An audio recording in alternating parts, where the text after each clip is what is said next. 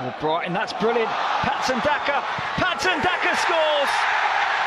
His first Leicester City goal. There'll be plenty more, I'm sure.